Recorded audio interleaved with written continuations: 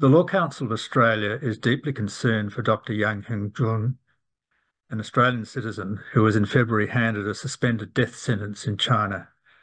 Dr. Yang has published hundreds of articles explaining and advocating for individual human rights, democracy, and the rule of law. His case was heard in a closed trial in May 2021.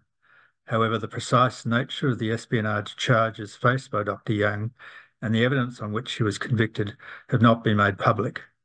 The Law Council absolutely and unreservedly opposes the use of the death penalty in all circumstances for all people.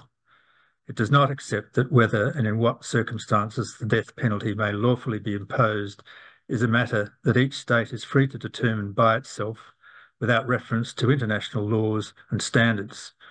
We continue to hold grave concerns for Dr. Yang's health which has deteriorated significantly in the five years he has been detained.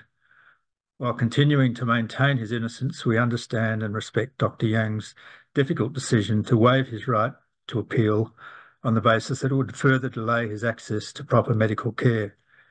We urge the People's Republic of China to ensure that Dr. Yang Hengjun receives adequate and supervised medical care and that he is offered medical parole or otherwise transferred to Australia on humanitarian grounds. Thank you.